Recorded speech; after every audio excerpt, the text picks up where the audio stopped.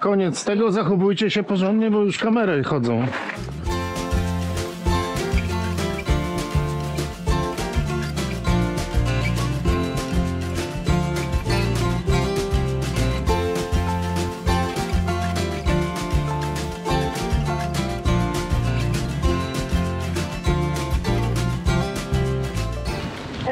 Jestem Dorota Woźniak, e, numer 171 i przyjechałam z Rzeszowa. Ja jestem numerem 178. Przyjechałam z Rzeszowa.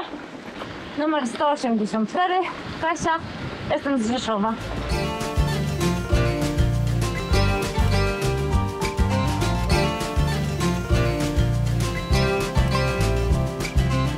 Oczywiście, powodzenia, życzę za 40 godzin. Się dobrze. Przywieźcie z powrotem dobrą pogodę życzą. Nie oddawajcie jej na trasie.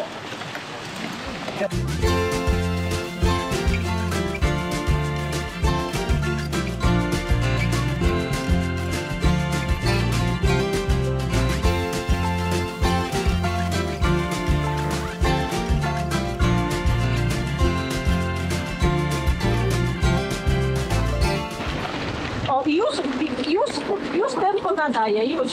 Przepraszam. Musicie ją na koniec wrzucić. Ale ja mam nawigację. A, Jadą za mną. no tak, dlatego kierownik ma nawigację.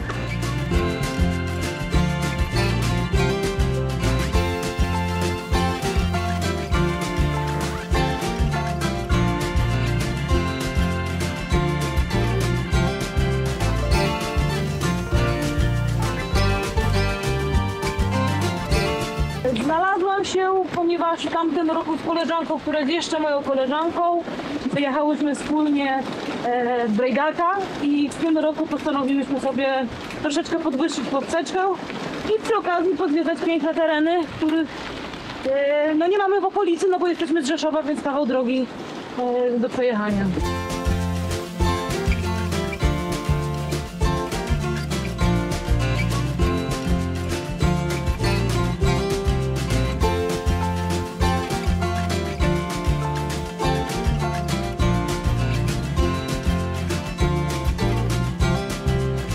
A co, myślisz, że to rzeczywiście jest wyższa poprzeczka? No kilometrowo i y, wysokościowo to na pewno jest wyższa. No Aha. takiego dystansu jeszcze nie robiłam. No zobaczymy jak będzie, bo jest pierwszy dzień.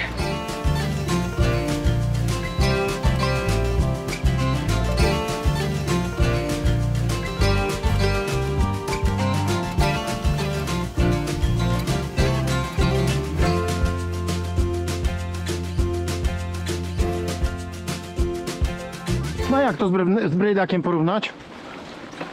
No na razie jakby jeżeli chodzi w porównaniu z... No na razie ciężko mi jest porównać, bo jedzie mi się dobrze. Aha, okej. Jedzie mi się póki co dobrze i, i nie jest źle. No może forma lepsza niż w zeszłym roku. Możliwe, możliwe. Pogoda też jest bardzo fajna. No super jest, co? Najpiękniej.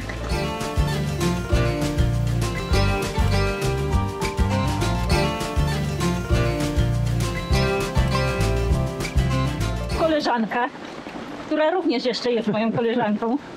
Tak, tak, rozumiem pani kierowniczka z przodu, tak? Pani kierowniczka. I nie jechałam z nimi brejdaka w zeszłym roku.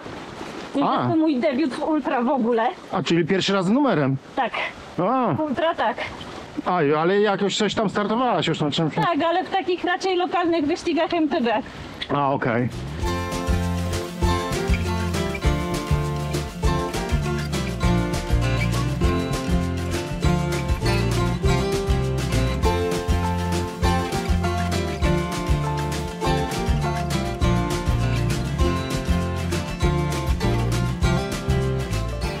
No jak ci się taka atmosfera ultra podoba? E, Generalnie jest na razie fajnie. To chyba trochę mniejsze ciśnienie niż w takich maratonach, nie? No nie wiem, kierowniczka tempo tutaj nadaje. Aha. Zobaczymy jak będzie, jak przejedziemy.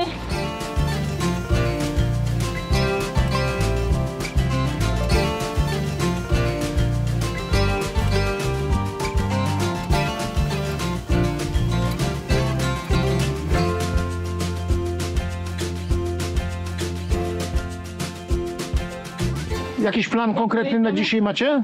Tak, do 208 km jedziemy. Do 208. Tak. Czyli tak 3 dni po 200 km mniej więcej, tak? Coś takiego? No, zobaczymy. Plan Okej. jest taki, że mamy pociąg w poniedziałek o 13.20 i trzeba na niego zdążyć. Aha, okej.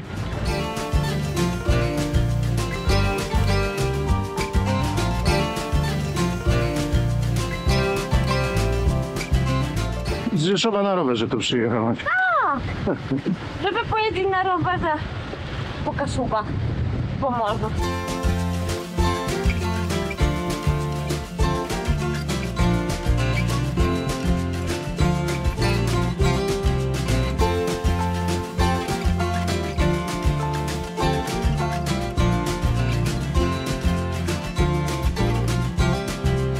No i jak ten pomysł do tej pory oceniasz?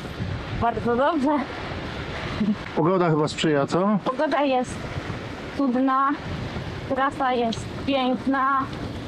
Ekipa na trasie, jak widać, daje radę. Okej, no pogodę macie rzeczywiście wymarzoną. Trudno chyba o lepszą. Nawet komarów i gzów nie ma, co? Tak, tak, to to było na breakaku. No właśnie, tak to sobie pamiętam.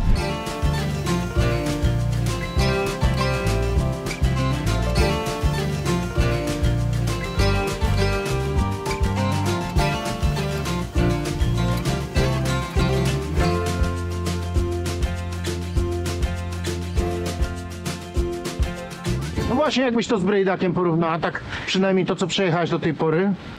E, mam wrażenie, że ten pierwszy dzień tutaj jest szybszy. E, w sensie takim, że się jedzie całkiem dobrze i sprawnie. Tam mam wrażenie, że było dużo chyba takich pól i łąk na początku.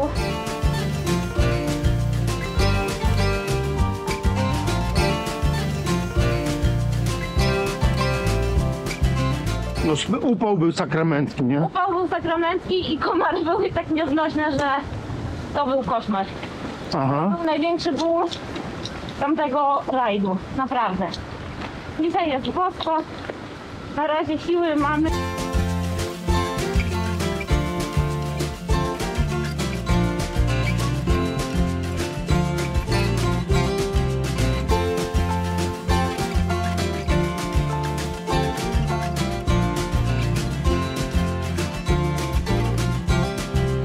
Jak na co dzień życie rowerowe twoje wygląda?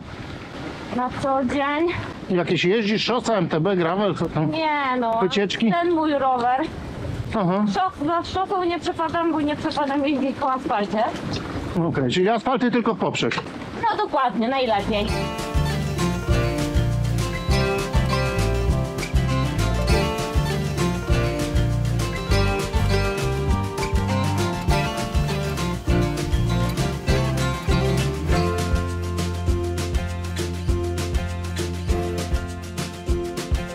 Dziękuję bardzo. Fajnie, dzięki. Jakieś machanie epickie poproszę. Mam przeczucie, że jesteśmy blisko. Bunkry są?